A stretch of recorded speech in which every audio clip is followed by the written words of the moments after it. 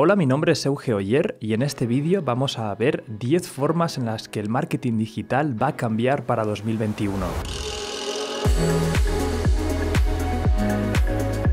La primera forma tiene que ver con el valor agregado digital. ¿Y a qué me refiero con esto? Pues hoy hemos vivido una pandemia en la que los comportamientos de la gente ha cambiado radicalmente, por lo menos durante el tiempo que hemos estado confinados.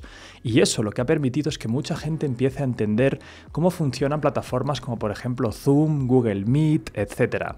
Entonces, se está poniendo muy de moda y yo te aconsejo que desde aquí, si puedes, lo hagas en tu negocio, que agregues experiencias de valor con coste reducido que pueden agregar la vida total del cliente. Simplifiquemos esto, ¿qué quiero decir? Pues por ejemplo, imagínate que alguien, por ejemplo, eh, adquiere tu software, eh, tienes un SaaS, un programa que deja a la gente que suba post a Instagram y cada viernes haces un Zoom donde todos los usuarios pueden venir y tú les das tips en vivo para que puedan mejorar su forma de publicar post, etc. Este es un valor que a ti te está costando solamente eh, ese viernes ponerte ahí a dar la clase eh, o a alguien de tu equipo y puedes escalarlo a un montón de gente, porque en estas plataformas pueden conectarse 100, 1000, 2000 personas. Es una forma de interactuar muy rápido con tus clientes y crear esta experiencia de valor agregado con un coste más reducido de lo que pensamos. Además, como te decía, mucha gente ya está experimentando lo que es hablar por Zoom, etcétera, por lo que no tendrás problemas para educar a tus clientes para que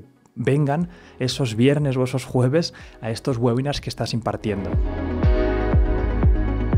La segunda forma que estamos viendo que va a cambiar el marketing digital es el tema de los chatbots para el soporte al cliente y las interacciones de conversión en la página web. No sé si habrás visto estas páginas donde al final siempre hay un, chat de Facebook o de WhatsApp y ahí mm, puedes tú hablar por si tienes dudas, etc. Yo creo que eso es, es, crucial que tengas ese tipo de soporte porque hoy en día la gente ya está demandando más interacción. Yo siempre comparo como el tema de Internet empezó y al principio era todo súper impersonal, la web estaba ahí y punto, y poco a poco hemos ido humanizando todo lo que son las ventas por Internet. Humanizar a través de estos chats eh, conseguirás una conversión mucho más alta y al final el marketing, eh, oye, no solamente es traer mucha gente a la web y cruzar los dedos a ver si compran, sino traer gente y maximizar la gente que al final adquiere tu producto o servicio.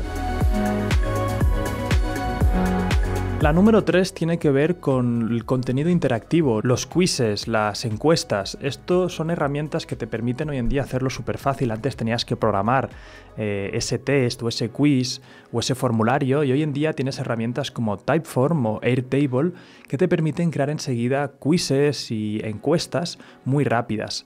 ¿A qué me refiero con esto? ¿Por qué esto se está poniendo de moda? Porque te permite muy rápido segmentar a tu, a tu base de datos y a tus clientes. Incluso te puede servir para captar sus emails, ¿no? Porque puedes poner un quiz y al final le das los resultados y se lo envías al email. Todas estas formas en las que el negocio propio empieza a segmentar su base de datos, para mí, eh, te da mucha fuerza de marketing. Y es una cosa que antes solamente hacían las empresas grandes como Facebook o Google. Y hoy en día yo creo que estas herramientas como Typeform o Airtable, que te las dejaremos por aquí para que las puedas ver cómo se escriben, están empoderando a los pequeños emprendedores para que también segmenten a sus clientes y tengan más fuerza de venta luego cuando se comuniquen con ellos.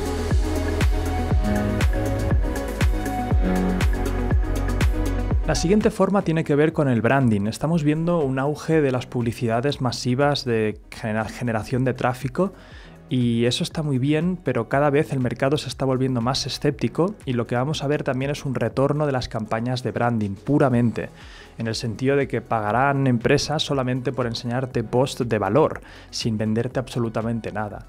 Luego, eso además puedes hacer un retargeting. Un retargeting quiere decir que te guardas esa audiencia que ha visto ese post de puro valor y ahí sí que haces la venta. Esto para mí es algo que cada vez se va a ver muchísimo más, estrategias de branding y sobre todo empresas digitales que van a empezar a salir incluso a la calle a brandear su empresa. Porque cada vez más cuando hay más competencia peleándose por el tráfico, los que acaban ganando a largo plazo son los que se quedan con marcas potentes para poder seguir transaccionando de forma barata. La siguiente tendencia, y esto es algo que se lleva viendo ya desde hace bastante, es el tema de tener tu marca o tener tu empresa y tu estrategia de marketing de forma omnicanal. ¿Qué quiero decir con de forma omnicanal? Quiero decir que no solamente pongas anuncios en un solo sitio, Por ejemplo, si Facebook Ads en 2020 te ha ido muy bien y estás poniendo ahí todo el dinero posible, eh, piensa al final que esa plataforma solo llegas a un segmento de clientes y además es más interesante diversificar el presupuesto de marketing en diferentes sitios como podría ser YouTube, Google, eh, incluso podrías hacer algún tipo de campaña también fuera de lo digital. De esta forma consigues que la persona viaje contigo, te vea en diferentes sitios, te vea en YouTube, te vea en Facebook, te vea en la calle, te vea en el periódico, te vea en la radio y eso generas toda una experiencia omnicanal que transporta a la persona y parece que viaje contigo en todos lados. La siguiente tendencia de marketing es que el vídeo ya no es opcional. Dicen que el 72% de los negocios convierten mucho más cuando han usado vídeo y eso lo estamos viendo que cada vez se vuelve más y más popular. Ya es una tendencia que avisé el año pasado, pero es una cosa que sigue en alza, por lo tanto lo vuelvo a traer este 2021. Siempre que puedas enseñar tus productos en vídeo, siempre que puedas tú ponerte delante de la cámara y explicar tu propuesta de valor, tu producto o servicio, va a ser mejor. La gente prefiere la humanidad, las caras, hablar con la gente. Y eso no se puede aún hacer con hologramas o réplicas así para todo el mundo, pero sí que puedes grabar, grabar tus productos, grabar lo que ofreces y eso te aseguro que la conexión entre empresa y clientes sube muchísimo. El año pasado también os avisé de que teníamos ahí el curso de Video Marketer que aún está disponible en Emprenda Aprendiendo, donde te enseñamos todo lo que tienes que saber para realmente empezar a hacer campañas de vídeo, para hacer páginas de venta con los vídeos, qué decir, los guiones, todo eso lo tienes ahí y toda la teoría sobre cómo crear campañas de video marketing. Eso te lo dejaré en las tarjetas y en el primer comentario. La siguiente tendencia tiene que ver con el marketing de emails y el marketing de emails es algo que ya se, lleva haciendo hace mucho tiempo, pero eh, hay una cosa interesante y esto yo no soy experto, pero en mi equipo lo están haciendo ya y, tiene súper buena pinta, y es enviar ciertos emails según el comportamiento del usuario en la plataforma. Por ejemplo, justo después de hacer una acción en tu plataforma o en tu web, podrías, si tienes el email, enviar un email. O sea, esto se, llama emails basados en el comportamiento. Y estos emails dicen que convierten muchísimo más. Y plataformas como por ejemplo ActiveCampaign eh, son plataformas donde te dejan literalmente poner estas acciones. Cuando pase esto y cuando este usuario haga esto, que se le envíe este email. Y eso además eh, le envías el email justo en el momento donde sabes lo que ha pasado y donde puedes realmente eh, el mensaje acoplarlo a lo que ha sucedido. Estamos pensando en Emprende Aprendiendo en hacer un curso exclusivo de email marketing, si es algo que te interesa. También estaría genial que en los comentarios nos lo hagas saber y si vemos que hay mucho entusiasmo por ello, nos pondremos a ello. La siguiente tendencia, que además lo hemos visto que se ha estado gestando durante los últimos tres años aproximadamente, es el tema de las stories en todos lados. Eh, las stories antes solamente estaban en Snapchat, luego al poco estaban en Instagram, pero ahora ya están en WhatsApp, en YouTube, en todos lados.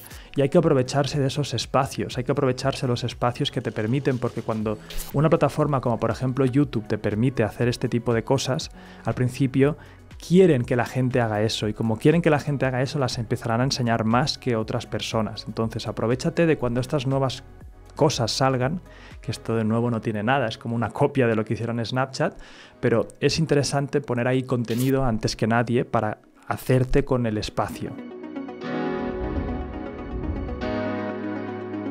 La siguiente tiene que ver con TikTok y es que estamos viendo que TikTok eh, está siendo súper popular, este 2020 sigue siendo popular, eh, los vídeos llegan ya a millones de visitas en poco tiempo si los lanzas y los haces bien y entiendes sobre todo el contexto de la plataforma. Al principio TikTok era solamente para gente que bailaba y hacía gags de risa, etc.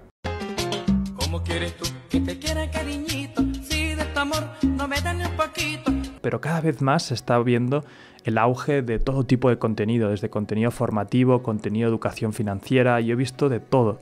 Entonces, aprovechate en esta época en la que está todavía eh, reciente para poner ahí tu contenido. Al igual que TikTok, también tenemos eh, LinkedIn. LinkedIn sigue siendo esa plataforma donde aún no se ha explotado del todo, aún puedes conseguir orgánicamente visitas. La plataforma de pago aún no está muy bien porque no es tan precisa como Facebook Ads, donde tienes esta subasta de precio por alcance, aún no es así en LinkedIn, pero el contenido orgánico realmente es potente. Si tienes algo como por ejemplo un negocio B2B, que es un negocio que vende a otro negocio, en LinkedIn puedes obtener muchos resultados. O si tu empresa, por ejemplo, va al segmento de profesionales, también puedes empezar a poner ahí contenido y empezar a ver un crecimiento orgánico que no se veía antes en ningún otro sitio. Bueno, ya para acabar, comentaros que otra de las grandes, y esta es la onceava que es de regalo, es el tema de WhatsApp Marketing. Eh, tiene que ver un poco con lo que hemos dicho de los chats de, conversión, pero el WhatsApp Marketing también se puede hacer directamente sin web. O sea, si te interesa esto del marketing, pero no quieres web, no quieres nada de eso, tú puedes poner anuncios en Facebook y a través de una landing que se genera muy rápido, generar contactos y empezar a hablar con posibles clientes. Es más, recientemente hemos entrado en un proyecto súper interesante que se llama Generator Landing, donde nosotros también estamos ahí participando como socios y básicamente lo que te permitimos hacer es crear una landing súper rápido optimizada para WhatsApp. Te ayudamos también a conseguir los clientes a través de Facebook o de cualquier otro sitio para que puedan venir a tu landing page creada especialmente para WhatsApp y luego te enseñamos a crear los embudos de venta a través de WhatsApp, ¿vale? Eso es todo un mundo nuevo donde nosotros estamos apostando. Estamos apostando a que el marketing también debería ser fácil para gente que no quiere hacerse webs complicadas ni embudos de venta complicados. Así que en Generator Landing, si te interesa ver ese proyecto, te dejaremos también un enlace en las tarjetas y en el primer comentario. Básicamente te ayudamos a conseguir más clientes a través de WhatsApp. Ay, por cierto, he creado un canal de difusión en Telegram en el que voy a compartir la información de lo que estoy haciendo actualmente. Se llama Euge sin filtros. Ahora mismo estoy hablando sobre la creación de Silex 2.0, nuestro book insignia de Emprende Aprendiendo. También hay un audio de las ocho características de la propuesta de valor, así que si te interesa estar súper cerca de lo último que estoy haciendo o hablando, eh, te dejaré el enlace para unirte al canal en las tarjetas y en el primer comentario. Que vaya genial. Chao.